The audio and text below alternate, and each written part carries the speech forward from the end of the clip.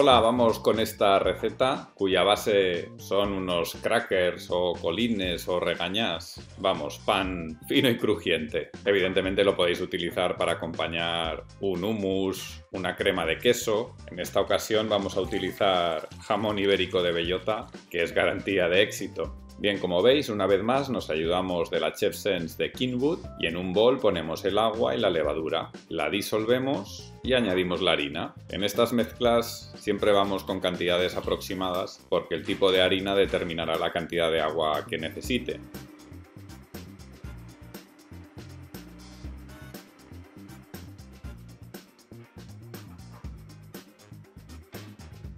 El chorrito de aceite lo podríais añadir al inicio, dado que se trata de que se incorpore bien a la mezcla.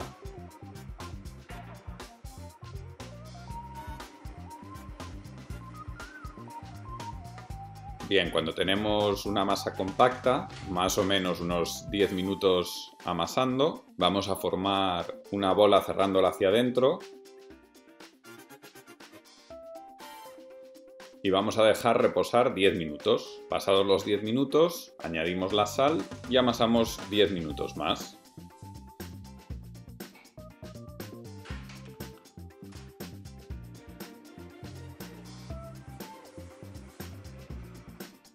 Y pasado ese tiempo vamos a dejar fermentar un par de horas si estáis a unos 20 grados de temperatura. Si hace algo más de frío tardará más. Y la versión fácil es dejarlo en la nevera toda la noche y hacer una fermentación en frío, aunque en ese caso después deberéis retirar un par de horas antes de volver a trabajar la masa para que esté a temperatura ambiente.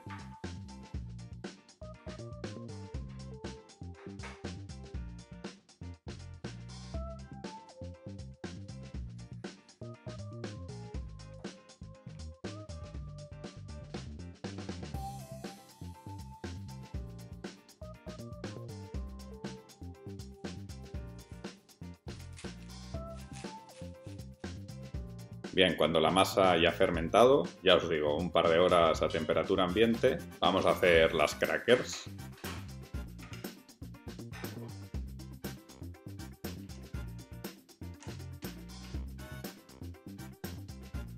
Y lo más importante es que narinéis constantemente para que no se os pegue. Ya veis que necesitáis muy poquita masa. He hecho cuatro partes de la masa inicial y de un cuarto lo vuelvo a dividir en dos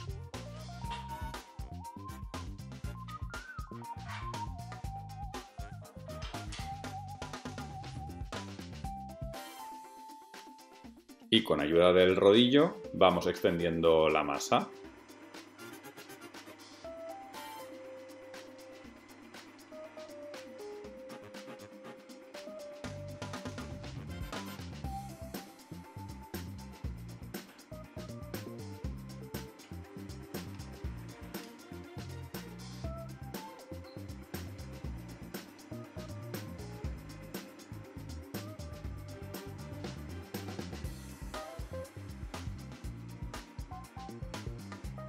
Y cuando está bien fina, casi transparente, la vamos a poner sobre una bandeja de horno y podéis hacer el corte que os apetezca, como si dejáis la masa entera.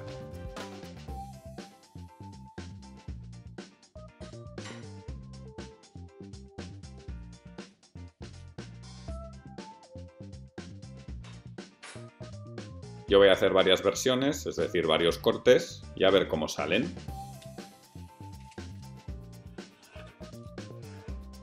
Tenemos el horno a 200 grados, con calor arriba y abajo, lo metemos y lo dejamos hasta que el pan esté bien dorado, se ve claramente.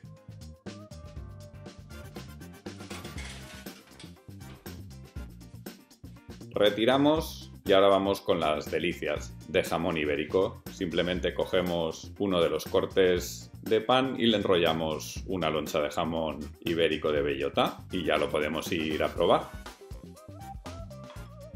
Ya veis, receta sencillísima, muy pocos ingredientes, muy pocas complicaciones, entretenida, eso sí, requiere su tiempo. Y luego lo que os recomiendo es que hagáis todo tipo de, formas. Eh, el pan no ha quedado... Esto debería estar completamente hinchado, probablemente no lo he dejado fermentar o en la temperatura adecuada o el tiempo suficiente. ¿no? Lo que se busca es pues que quede tipo esto, fijaos. Crujientísimo, que queden estas, que quede totalmente hueco por dentro. Eh, para eso, para conseguir eh, más volumen y, una capa más fina de, de pan que sea más crujiente. Pero bueno, oye, vamos a probar igualmente.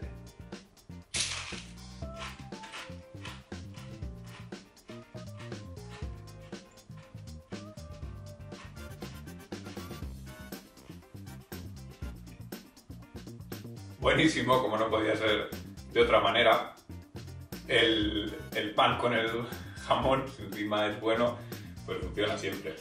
Ya os digo, muy recomendable como aperitivo, muy versátil. Esto aguanta, no aguanta dos días, el día siguiente ya está un poco blando. Si lo volvéis a meter en el horno un poquito se recupera. A ver si os animáis y me contáis. Bueno, que vaya bien, hasta luego.